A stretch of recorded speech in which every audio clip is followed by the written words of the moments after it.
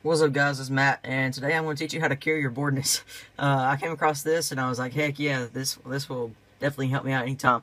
What I'm going to be doing is playing just a random Eminem song off, well it's not random, but an Eminem song off of YouTube, and I'm going to post this link in the description, and what you can do, you control an animated, like, whale or whatever.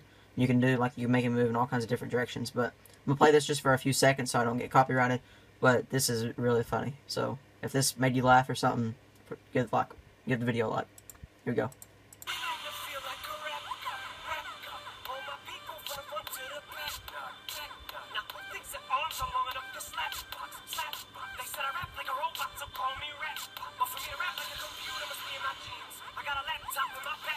down.